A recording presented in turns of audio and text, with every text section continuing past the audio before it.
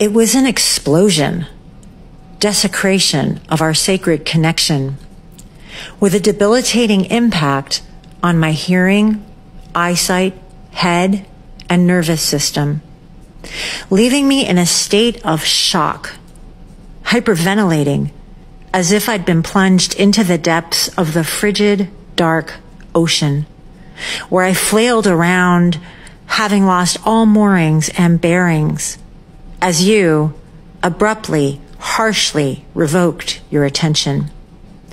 There was no transition, no graceful conversation, taking accountability, making amends, demonstrating awareness for the level of devastation?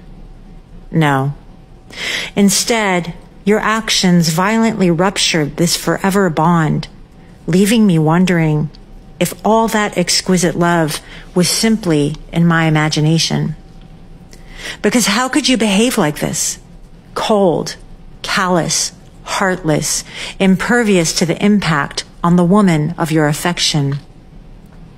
I burn in the inferno of your betrayal and abandonment as you show no compassion.